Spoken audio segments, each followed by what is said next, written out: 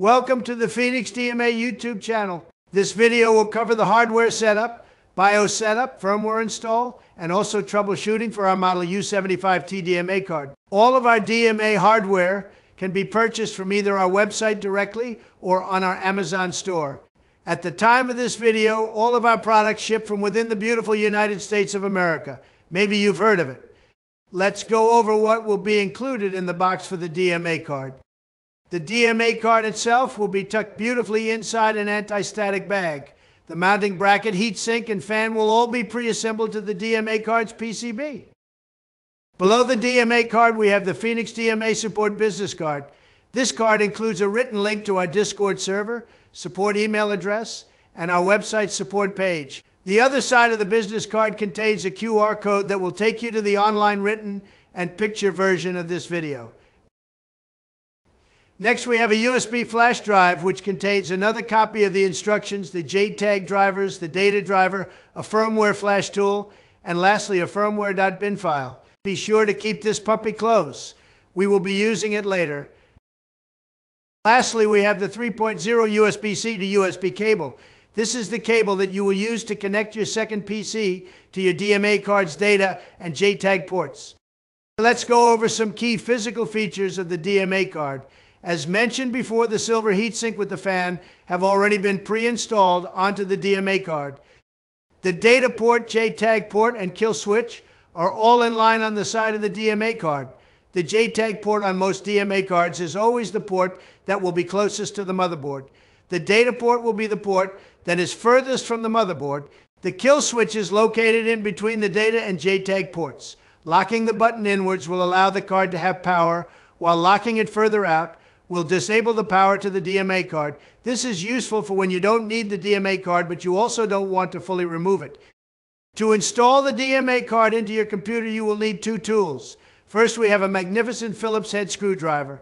Second, you will need a screw to secure the PCI bracket to your computer's case. I'm a silly goober and I lost my original PCI slot covers. So I am using this image to show you where you can find this screw in your computer's case. For the main PC, we're using an absolutely gorgeous B450 AMD based system. Before installing the DMA card, please ensure the computer is not only powered off, but the power cable is also removed from the power supply.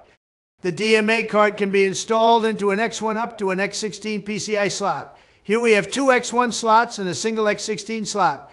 For now, we will be installing the DMA card in the bottom X1 slot to ensure it is furthest away from the GPU. Placing the DMA card into the slot does not require a lot of force. If you find yourself needing to apply a lot of force to install the card, you can loosen the top screw and adjust the mounting bracket until it is in a position that allows for easy install. Please stand by while my Tesla robot assists me with screwing the bracket into the computer case. It is very important that you secure the mounting bracket to your computer case.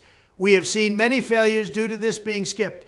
If the DMA card moves at all, when the PC is powered on, you will be putting the DMA card, your motherboard, or both at risk if the card is not secured properly. At this time, you can plug your power cable back into your computer's power supply, as well as switch the power supply back on. Now we will be making some beautiful adjustments in the BIOS of your main PC. This main PC is AMD based, so the BIOS settings in the video will be specific to AMD. However, we will show the settings for Intel as well. For this video, I will be using 200% of my brain power by utilizing the search bar function of my BIOS. If you do not have this function, you will need to consult the manual for your BIOS to find these settings. The first setting to change is IOMMU on an Intel system. This setting will be virtualization or VMX. This setting needs to be disabled. The next setting is SVM. On an Intel system, this setting will be VTD. This setting also needs to be disabled. Those are the only two BIOS changes needed for your DMA card to operate normally. There are other BIOS settings that can be changed for specific applications that will be covered in the troubleshooting portion. Ensure that you save your changes, then boot into Windows. After doing the required BIOS steps and booting your main PC, take a note of your LED behavior. By the data port, you should have one solid red LED and one green LED that will flash a few times on startup, then go solid after a few seconds. In the rear of the card, you should have one solid green LED. This is a sign of healthy operation. We are now in the second computer. The files we are going to use for this portion are included on the flash drive. These files can also be found in the instructions on our website. I will be applying some extra chromosomes and use the flash drive for this video. It is recommended to extract the files from the flash drive and keep the flash drive as a safe copy. We have covered steps one and two already in the video. For the Microsoft redistributables, you will need to extract this folder somewhere. Inside of the folder, there is a .bat file at the top. Run the .bat file, and this will install all of the redistributables in the folder for you. As a level 200 Sigma, I have already done this on my system, so there is no need for me to do it again. It should take no more than two minutes for all of the redistributables to install. Next, you need to ensure that your main PC is turned on and the second PC is plugged into your DMA JTAG port via the included USB cable. Extract the archive from the JTAG driver folder somewhere and then go into the folder after. Now I will right click the Windows icon to go into Device Manager and show you where the JTAG serial device can be found. When you open the ports section of Device Manager, you will see the USB serial device with the assigned COM port. If you are using a DMA card besides our Model U, then your serial device might include the TEC CH347 in the device name, or it may show in other devices with an error. For the video, I'm going to uninstall the JTAG device and then reinstall the driver using the setup files. Please wait a moment while my Tesla robot removes the JTAG cable and puts it back into my second computer. Run the setup file in the main folder and then click install.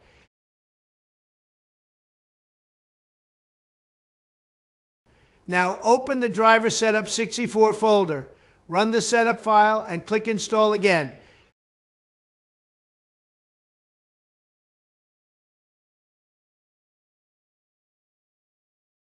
This is all you need to do to install the JTAG drivers. You can now move on to the next steps.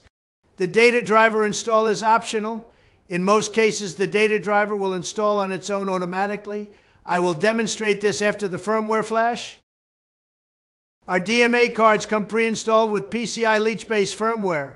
This firmware is available on GitHub for free. Phoenix DMA does not sell or include any firmware that is designed to bypass anti-cheat systems. There are many GigaChad sellers that can provide you with this type of firmware if you need it. The firmware on the flash drive is also PCILeech-based firmware. It is included so that we can teach you as the card owner how to flash your own DMA card.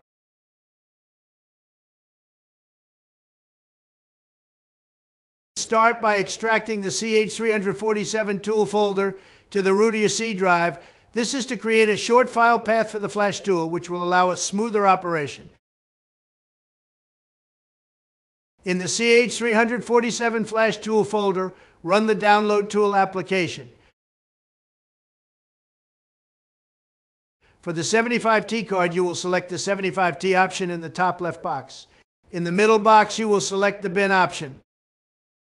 For the example firmware, we have placed this file in a folder that is in the same folder as the Flash tool. If you are using your own file, it would be best to put it in the Flash tool folder as well. There cannot be any spaces in the firmware file path or file name. Click the button below the FPGA text to select your firmware file. Click the button to the left of the 0% bar to start the firmware flash. You will see that the tool will start flashing the firmware and go until sector 32 or 33.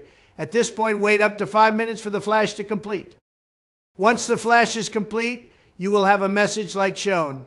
At this point, you can turn off your main PC, wait 10 beautiful seconds, then turn on your main PC again.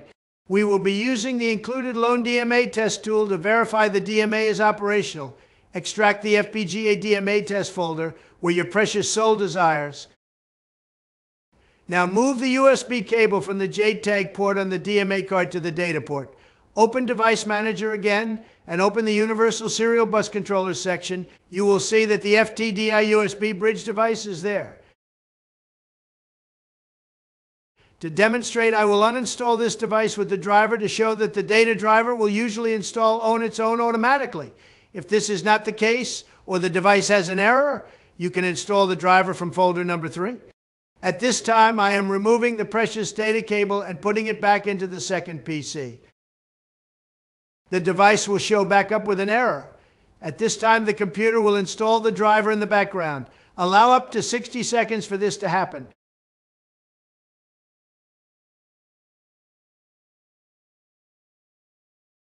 As you can see, some sorcery has occurred in the background, and the driver has installed on its own.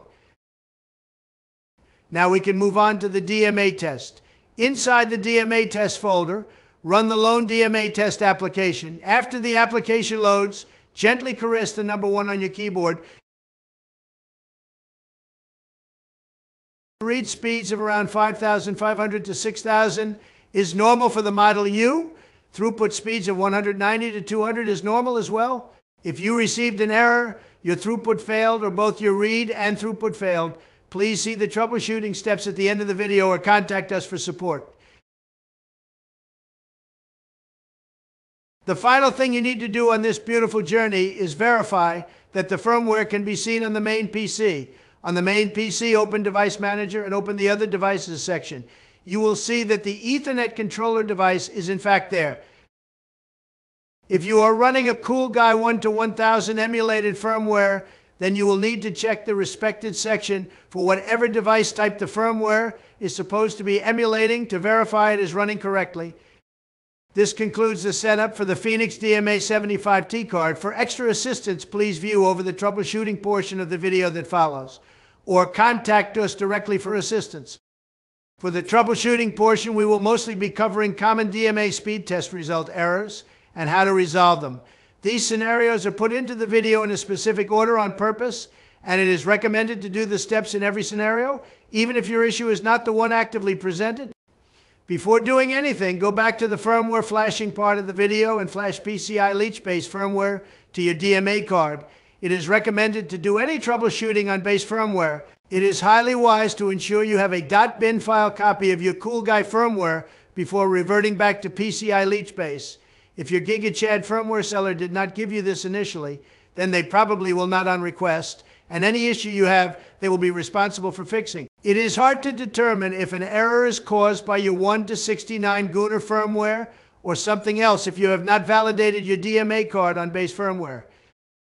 The first common error is the VMM, and it failed with all zeros in the device error. This error is almost always due to your data connection not being seen by the test tool. To verify your data connection, right-click on the Windows icon and open Device Manager. To produce this error, I currently have my second PC plugged into my JTAG port on my DMA card, as you can see by the USB serial device under the port section. In some cases, you may have your second PC plugged into your data port, but you are not seeing the FTDI bridge device in the USB section. If this is the case, first make sure that your DMA card is not kill switched and the lights are on. Second, find another USB cable to use. Please give me a moment while I switch the USB cable to my DMA card's data port. As you can see, the FTD bridge device is now in my USB section in Device Manager. Now we can run another test and see if we are going.